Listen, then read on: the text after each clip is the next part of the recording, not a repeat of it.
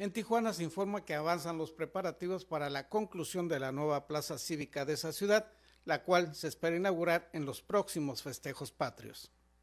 Cada semana, el presidente municipal de Tijuana, Arturo González Cruz, realizó una videoconferencia para responder las preguntas de los tijuanenses y desde el bancón de su oficina mostró el avance de las obras que se realizan en la explanada del Palacio de Gobierno. Dijo que esperan que concluyan para el grito de independencia del 16 de septiembre. Que hayamos tenido esta oportunidad de acercarnos a ustedes de esta manera virtual. Antes de despedirnos, quiero enseñarles cómo van los trabajos eh, aquí para recuperación de de la Plaza Cívica de Tijuana para que este septiembre celebremos no solo el Día de la Independencia, sino que también celebremos que hemos vencido este reto y que este reto y que Tijuana Tijuana va hacia adelante. Plaza Cívica como estaba originalmente, ya nomás nos falta un pedazo aquí de, un piso que se le puso, que le, hizo que, que tuviera mucho peso esta losa pero ya recuperando esto, ya, ya vamos a afinar estos trabajos y vamos a recuperar nuestra plaza cívica.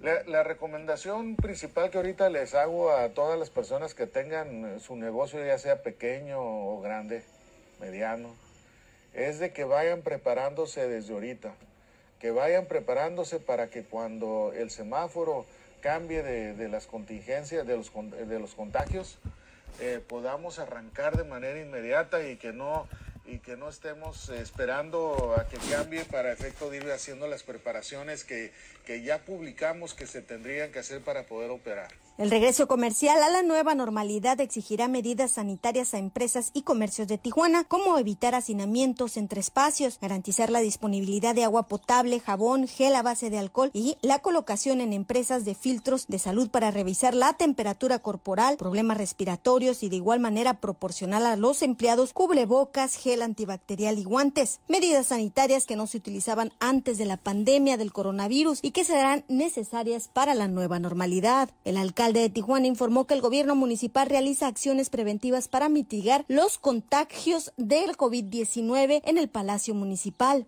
Empresas para efecto también que nos nutran con sus propuestas uh, para efecto de poder volver a la nueva normalidad lo más pronto posible.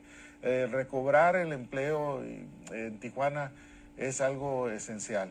Yo quiero decirles de que, y lo hemos dicho, que la salud eh, es prioritaria definitivamente, pero también es salud, tener empleo y tener bienestar. Entonces eh, nos preocupa y lo vamos a hacer lo más pronto posible, de acuerdo a la contingencia, al semáforo de contingencias que señale el gobierno federal y los gobiernos eh, y el gobierno del estado. Hay que tener mucho ánimo.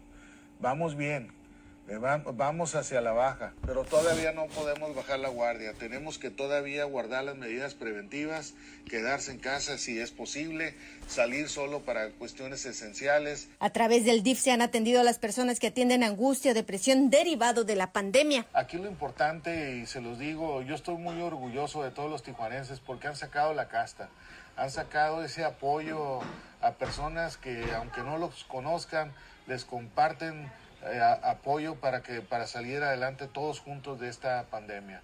Desde luego yo creo que esa es la característica principal del verdadero tijuanense y yo los felicito. Informó Ana Lilia Ramírez.